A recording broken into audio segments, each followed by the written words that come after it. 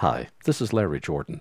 This is an excerpt of a recent Power Up webinar looking at the new features in the latest release of Final Cut to version 10.06. In this excerpt, I'll show you how to use the brand new drop shadow effect.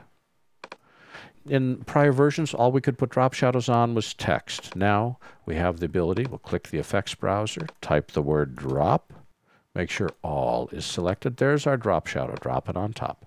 We'll just hide this. There are three presets for drop shadows. This is a traditional drop shadow. I would have preferred to be slightly offset to the right. Talk about that in a second. But I can say we have a perspective lit from the front, shadow falling behind like a cast shadow. We have a perspective front lit from behind, shadow falling forward. We also have custom. Let's go to the classic drop shadow see this white circle here. If you grab the circle and drag it, you can change the position of the drop shadow by dragging it as an object. You want to make the drop shadow really offset, drop it here.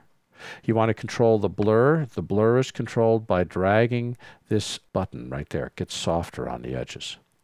You want to change the perspective. Click here. You can change the perspective.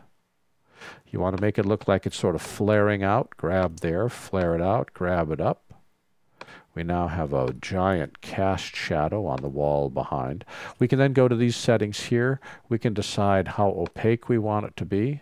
Just be a light shadow or make it positively black. Anywhere in between. These controls mirror what's inside the drop shadow setting itself, but it's really neat because now we can really change the perspective that we're working with and make it much more, oh, there we go, lit from the bottom, Frankenstein, change the position, do as you see fit. Very, very cool, very easy. Just select the clip, adjust it on screen in the viewer, or go over to the inspector. You want to reset it, go back to classic drop shadow, it automatically goes back to its default settings. Or you can click the curved arrow.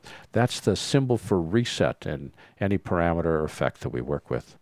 This has been an excerpt of a recent Power Up webinar looking at the new features in the 10.06 release of Final Cut Pro 10. For the complete version of this online training, please visit our store at larryjordan.biz slash store and look for webinar 82.